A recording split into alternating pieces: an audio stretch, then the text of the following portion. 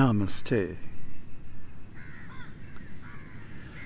So today's verse is about the desire for liberation. This is actually the main point or the main qualification, or as Nomi put it, the main requirement for self realization. Without the desire for liberation, why do we go through all this stuff? Why do we study the scriptures? Why do we do sadhana? Why do we cultivate all these qualifications? And the answer is we want to attain liberation. Liberation from what? Well, in the beginning, it's usually liberation from suffering. We don't want to suffer. We don't want to go through birth and death in the material world. And we don't want to have the embarrassment of being a human being on planet Earth. Then later on, we see liberation as merging with God or merging with Brahman or becoming one with Brahman or even becoming Brahman. But actually, of course, we are always Brahman. We were never born, we never die. We are Brahman. Everything is Brahman. And there is no duality, really. So then, if we want to become liberated from Maya, from the illusion, from that which is not, then we have to understand what is Maya. Why is there Maya? Very important question. Richard reminded uh, me of it yesterday when he made the comment that the why is the most important question you can ask. Why is there Maya? Why do we require to be liberated from it? Well, why does Brahman create Maya? Brahman is everything. Brahman is the origin of everything. Why is there Maya in the first place? Why is there ignorance? Why is there suffering? Why is there illusion? So let's go back to the good old Ishopanishad. Aum Purnamidang Purnamadha Purnam Purnam Udachate. That the absolute Brahman, Aum, is complete. Complete means everything. So the absolute would not be complete without the opposite of the absolute. See, Brahman is Sat Chit Ananda. And Maya is Asat, Nishchit, and Nirananda. So there have to be both. Or Brahman would not be complete. That's the reason that escapes almost everybody. What to speak of the, the Christian theologians, even the Vedic theologians can't answer this question. Why is Maya? And they say it's beginningless and inexplicable. Well, beginningless it is but inexplicable it's not.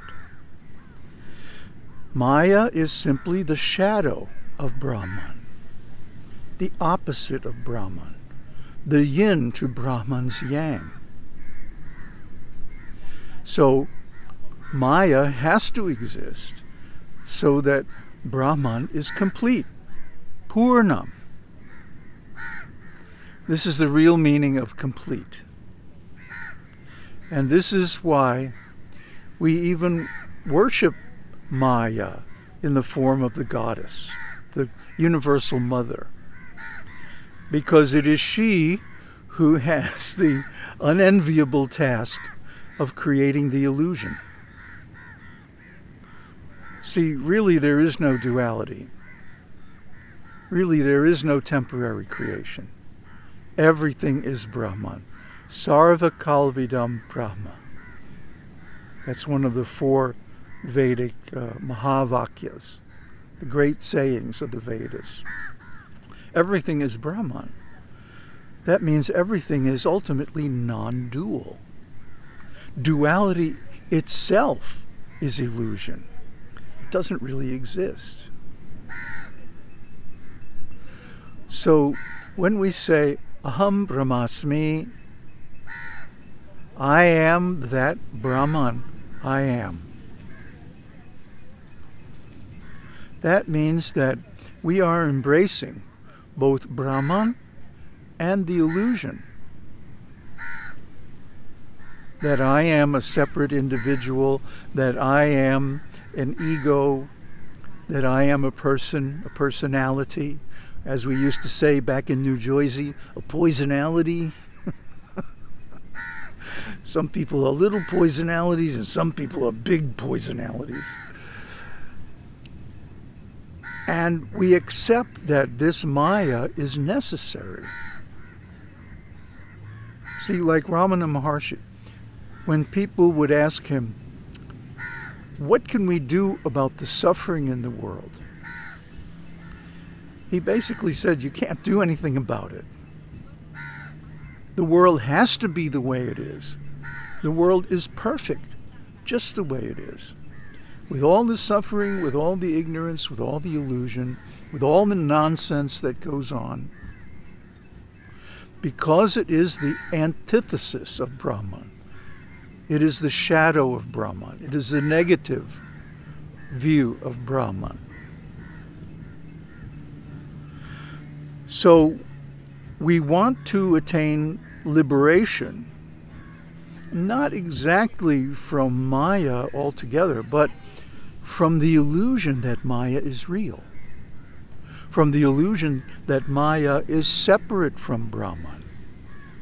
And we find this in the concept of Nirguna Brahman and Saguna Brahman. Brahman without qualities and Brahman with qualities. So the Saguna Brahman is actually part of Brahman or is Brahman. But it appears to have qualities. It appears to have changes and actions. Now, how did I get to this realization? Very easily.